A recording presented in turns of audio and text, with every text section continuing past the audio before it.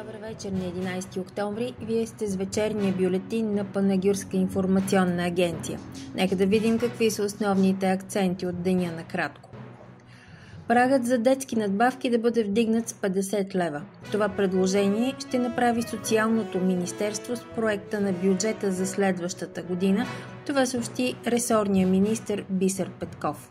Пенсионерския клуб в село Елшица излезе с открито писмо в отговор на статус в Фейсбук, публикуван от кандидатът за кмет от БСП Станимир Велчев. Навсякъде, където ходя, стане ли дума за рудник, винаги давам пример с Арел Медет като предприятие на много високо ниво.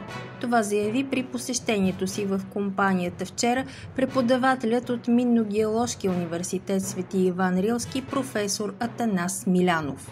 Трима са задържани заради притежание на наркотици през изминалото денонощие. Световният ден на ходенето отбелязваме днес. Това е една от най-масовите спортни прояви на Международната асоциация Спорт за всички. Тя има за цел да популяризира здравословния начин на живот чрез практикуване на най-лесно достъпната и естествена физическа активност – ходенето. И ако днес не сте успели да се разходите, то може да го направите утре, защото синоптиците ни обещават хубаво време. Ще бъде бъде предимно слънчево. Тринта на места, главно в котловините на Южна България, ще има ниска облачност или мъгла.